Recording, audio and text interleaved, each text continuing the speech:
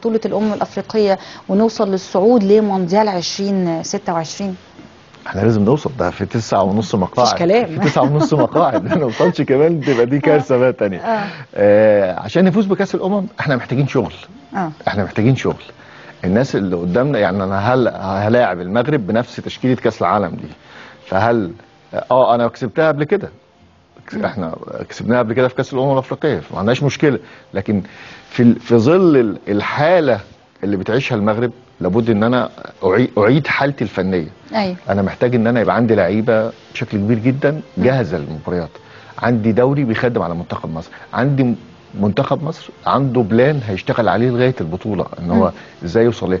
طيب أنا عندي عقدة من السنغال إن أنا دايما بخرج من قدامها بضربات الجزاء في كل الفرق الكروية في مصر مم. في كل الفرق الكروية حتى الكرة الشاطئية. تمام فده برضو مؤشر إن أنا عندي عايزين نغير. عند مم. محتاج إن أنا الحاجة اللي أنا عندي فيها ثغرة إن أنا أسد الثغرة ديت عشان أقدر أتعامل في بطولة الأمم الأفريقية اللي جاية لأن مهم جدا إن أنا أعيد ترتيب خطواتي فيما هو قادم هل إحنا فكرنا مين هيبقى موجود في المنتخب؟ مم. أنا في 26 مين مين اللعيبة دول اللي هيكملوا معايا؟ مين طب ابتدينا صح. يعني شايف إن إحنا ابتدينا صح. أنا يعني شايف إن ناخد خطوات جدية علشان نبتدي بقى نكمل صح زي ما حضرتك بتتكلم كده؟ أنا شايف إن بقى في حالة اليومين دول آه، إن إحنا بندور على أولادنا في أوروبا. مم. المصريين المهاجرين إلى أوروبا بندور عليهم دلوقتي إن إحنا نجيبهم. عندنا عدد كبير من الناشئين موجودين في أوروبا بشكل آه، كبير. فبدأوا يدوروا عليهم مم. أنا مش مش شاغلني ان أدور عليهم لأن ممكن أدخل على صفحات الانديه أجيبهم ما عنديش آه. أزمة لكن هو التعامل والتواصل هو ده المهم الارتباط بيهم لأن ده لأن ده ما عادش معانا آه. فعدم الجدية وعدم إتقان اللغة أيوه ده مؤشر سلبي مم. فلازم ناخد بالنا من الاثنين دول. الجدية واللغة لابد إن يبقى في تواصل دائم معاهم حتى اعرف اجذبه ليا بحيث ان هو لما يجي يشوف الواقع عندي يبقى مبسوط بيه. ما صحيح. يبقاش قاعد منتظر ان منتخب ألمانيا هياخده أو منتخب انجلترا هياخده. ما يبقاش ان أنا أو منتخب كندا ياخده مش عايز اوصل للمرحلة دي. فدي محتاجة شغل. الشغل ده محتاج حد قاعد متفرغ له. لو أيوة. أنا عنديش حد لازم اخصص حد يقوم بده. لو اتكلمنا عن فيتوريا ال- المدير الفني للمنتخب الوطني شايف إزاي برضو ال- المنتخب هيكون معاه؟ آه آه، هو أنا أنا في مصر عندنا شوية مدربين كويسين. آه اللي هم اللي موجودين في المنتخب. مم. تمام؟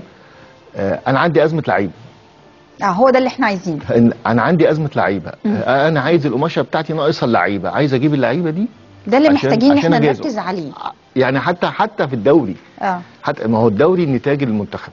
والمنتخب نتاج الدوري. صحيح. فأمر طبيعي آه، كولر قرفان من اللعيبة آه، في النادي الأهلي آه، آه، وبينتقدهم بشكل كبير جدا وده حقه.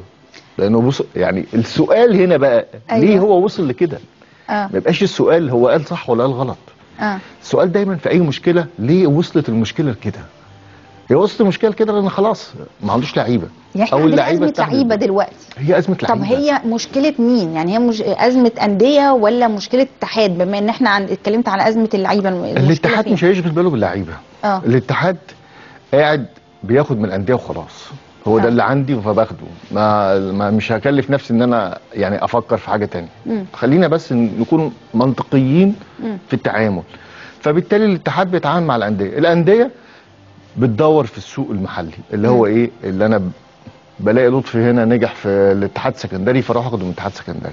نجح في. المصري فاخده في المصري. نجح في الجونة فاخده من الجونة. نجح في انبي فاخده من انبي نجح في الإسماعيلي فاخده من الإسماعيلي. شكرا. أنا هنا غير منتج.